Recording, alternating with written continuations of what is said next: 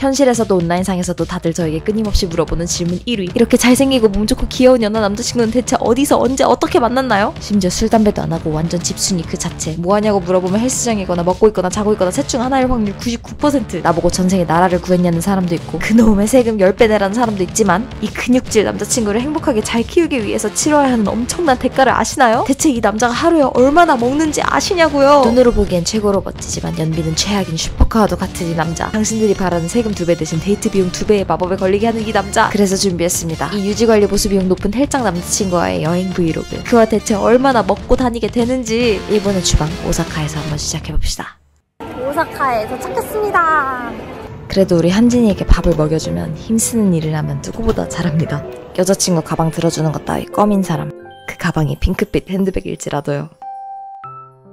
그냥 뭘 해도 무던하고 듬직한 느낌이 있달까? 아무튼 맛집 천국 오사카에 왔으니까 먹고 싶은 거 다 사줄 테니까 마음껏 먹어보라 했어요. 아 근데 오해하지는 마세요. 당연히 연하 남자친구라고 맨날 다 사주는 건 절대 절대 아니지만 그냥 가끔은 밥 잘 사주는 멋진 여자친구가 되고 싶은 날도 있잖아요. 잘 먹는 남자친구는 진짜 너무 예쁘거든요. 오늘 왔을 때 여기 2시간 기다렸는데 줄이 없어서 그냥 바로 먹어보기로. 잘 어울린다. 오, 과연? 여긴 사실 워낙 맛집이어서 waiting이 30분 미만이다 하면 한 번쯤 가보시길 추천드립니다. 제가 느끼기에는 한국에서 먹는 규카츠보다 절대적으로 맛있는 것 같아요. 진짜 고기가 입에서 사르르 녹더라고요. 근데 저만 그러나요? 저는 음식점 가면 남자친구랑 마주보고 앉는 것보다 나란히 앉는 걸 더 좋아해요. 뭔가 서로 메뉴가 다르면 나눠 먹기도 좋고 음식에 대해 대화하기도 더 편해서 뭐 그래서 첫 끼로 여기 나쁘지 않았다 이 말입니다. 아 맞다. 근데 오늘의 주제로 돌아와서 남자친구는 무조건 많이 먹습니다. 특히 고기라면 더더욱 단백질 집착 광공입니다. 여기는 1인분, 1.5인분, 2인분 이렇게 양을 결정해서 주문할 수 있는데 안진이는 당연히 2인분을 시켰습니다. 대신 접시에 나온 건 진짜 다 먹어요. 양배추 먹으면 소화 잘 돼가지고 다음 끼니 먹기 더 편하다고 양배추까지 다 먹는 거 보세요. 저는 1인분 메뉴를 시켜서 총 4,990엔 결제하고 나왔습니다. 아니 알고 온 거 아니라 저번에 여행 왔을 때 너무 맛있었던 버블티집이 있었는데 진짜 우연히 길 가다가 찾아가지고 여기 진짜 맛있었어. 몇 생각나더라. 음 뭐 사실 J형이었으면 애초에 맛있었던 건 메모해놨겠지만 저희는 파워 P형이어서 그런 건 없고요. 그냥 이렇게 운명에 맡기는 거죠. 언젠간 내 눈앞에 예상치 못하게 다시 나타난다면 두 배로 짜릿하니까 아무튼 짜릿하다 짜릿해 이렇게 길 가다 맛집과 간식과 디저트에 교란당하기 음. 빨리 먹어봐. 엄청 쫀득한 모찌가 섞여있는 느낌. 치즈 같은 모찌가 같이 빨려 나오는 데 일본에서 본 숙소 중에 제일 넓어. 여기 거실이 있어 숙소에. 완전 가정집 스타일. 약간 일본 전통집 느낌 나고 나쁘지 않다 오늘. 저녁 시간에 도착해서 아직 한 끼밖에 못 먹는데 벌써 밤이라고 호들갑 떠는 중내 감성. 아. 저녁 비행기로 도착해서 사실 방금 먹었던 첫 끼는 저녁인데 한진이는 여기 와서 처음 먹은 첫 끼니까 아까 먹은 건 아침이었다면서 현지인만 아는 미슐랭 라멘 맛집 하나 찾아놨다고 신나서 데리고 나가더라고요 비주얼을 좋아요 한진아. 아 먼저 드셔보시면 미슐랭 안 돼요? 가이드 받은 집. 진짜? 여기는 노구치 타로 라멘이라는 곳이었는데 이치란 라멘이 스탠더드한 라멘 느낌이라면 여기 라멘은 좀 특이한 느낌? 맛있는데 평소에 먹었던 라면집이랑 좀 달라요. 이치란이 질릴 때 한 번쯤 도전해봐도 좋을 것 같아요. 오늘 두 끼밖에 못 먹었다고 아주 분해하는 한진이와 함께 숙소로 돌아왔는데 연하 남자친구를 사랑할 수밖에 없는 이유. 제가 오늘 불편한 신발 신고 많이 걸어서 다리 아프다니까 이렇게 바로 다리 풀어주겠다 하더라고요.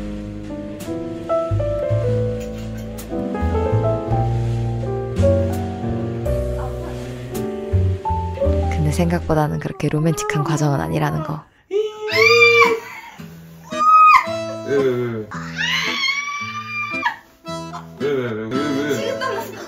가만 보면 어차피 재밌으려고 하는 거 아니야?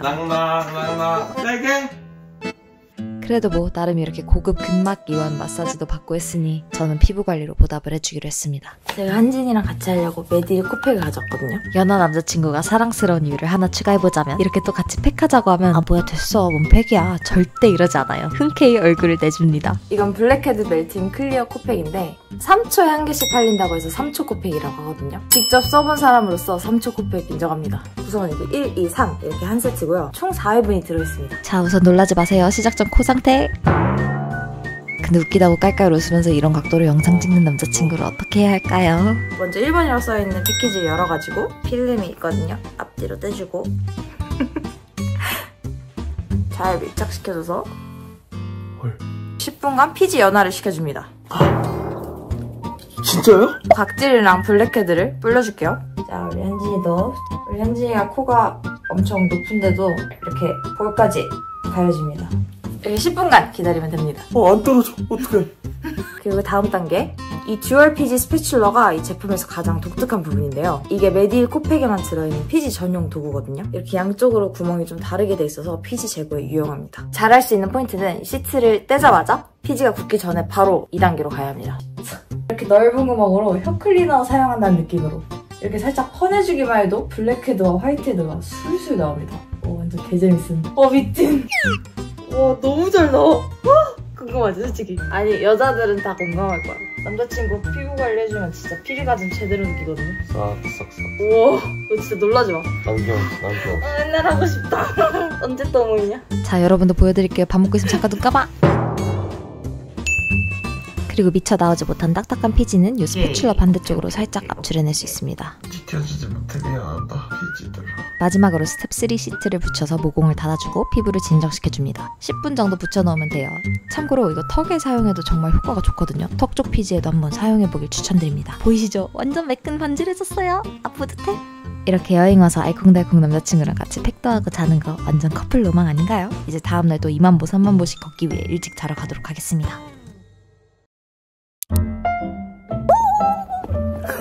메이크업 예쁘게 됐다. 어때? 예쁘지? 해서 남자친구가 지금 길을 다 찾아주고 있기 때문에 내 머리는 자율주행 모드로 돌려드린다. 케이드? 이제 저희는 야끼니꾸를 먹으러 왔습니다. 생각보다 좀 고급스러운 집인 것 같아서 약간 되게 조금 나왔는데 엄청 비싸더라고요. 이만큼에 무려 8,030엔. 과연 얼마나 맛있을지. 한진이는 고깃집만 가면 맛있게 구워주려고 진짜 최선을 다해요. 맛있겠다. 와, 언제 다 해서요? 지금이야!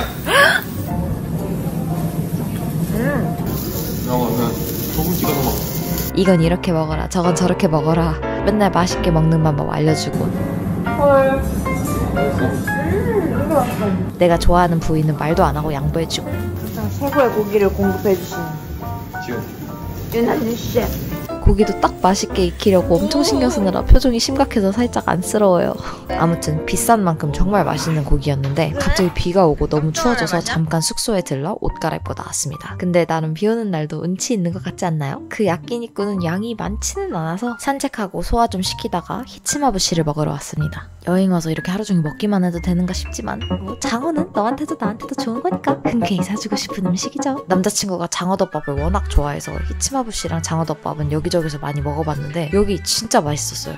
남자친구는 역시나 제일 큰 사이즈, 저는 제일 작은 사이즈를 시켰습니다. 그래, 장어는 많이 먹어도 돼. 근데 가격도 생각보다 비싸지 않다는 거.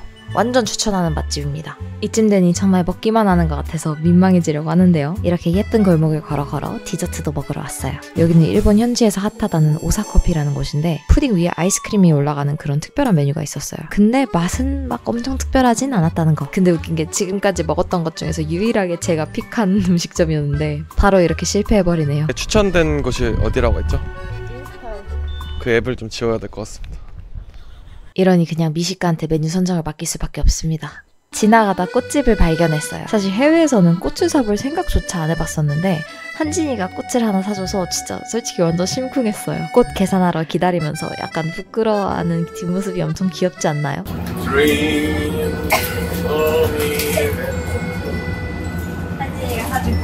해외여행 중에 꽃을 선물 받아본 적은 정말 처음인데 진짜 생각보다 기분이 엄청 좋더라고요. 관광지에 계속 들고 다니면서 사진도 찍고 했어요. 그리고 다음 날에는 꽃을 보러 갔어요. 벚꽃이 진짜 너무 예쁘게 펴 있어서 딱히 별거 안 하고 하루 종일 공원에서 꽃 구경을 했어요. 물론 중간엔 도무지 기억도 안 나는 이유로 또 몸싸움을 하기도 했지만요. 이거 연하 남자친구랑만 이럴 수 있는 거죠? 근데 잘 보면 한진이가 말만 연하지 항상 저를 엄청 챙겨주고 있더라고요. 이렇게 구두에 발 뒤꿈치가 쓸려서 까지면 밴드도 사서 붙여주고 내가 먹다가 흘린 음식까지 이렇게 순식간에 주워 먹어주고 마음껏 얼굴에 묻히며 먹으라고 격려해주고 자신있게 먹어라. 나 물티슈다. 싹 흘리면서 그냥. 계속 보니까 옆에서 잘 먹고 있나 괜찮나 맛있나 가만히 있지 못하고 계속 확인하고. 있더라고요 뜨겁다. 맛있지? 사실 저는 원래 맛있는 음식이라고 하면 무조건 그냥 라면, 피자, 햄버거, 치킨, 치즈 폭탄 모시기 이런 건 줄 알았거든요. 그래서 사실 다른 걸 먹어볼 시도조차 안 했었는데 현진이는 미식가여서 약간 저한테 좋은 재료로 만든 진짜 맛있는 음식을 먹는 즐거움을 같이 나눠주고 싶었나 봐요. 그래서 계속 저한테 어 떻게 여기다 먹어야 이거 더. 맛있는지 아니, 아니, 알려주고 이렇게? 어. 찍어서 이렇게 먹어야지. 오, 자, 맛있겠다. 먹어봐. 이대로 넣어. 이 밀어 넣어. 그래, 그래, 그래, 그래, 그래. 아닌 척 하지만 자기가 고른 이 음식 맛있냐고 물어볼 때 제가 대답하기 전까지는 살짝 긴장하거든요. 맛있다고 하면 그제서야 자신감 뿜뿜 하는 게 좀 많이 사랑스럽습니다. 그래. 그래. 아무튼 결론은 이거네요. 밥 많이 먹어서 데이트 비용 많이 나오는 게 연하 남자친구의 치명적인 단점인 척 하려고 했는데 글쎄요 이렇게 많이 먹어도 진짜 하나도 안 아깝게 느껴지는데 어떡하죠? 아 진짜 큰일 났네 이 사람 단점이 없어. 아 그래서 단점 만들어주려다가 실패해서 이번 컨텐츠는 흐지부지 됐네.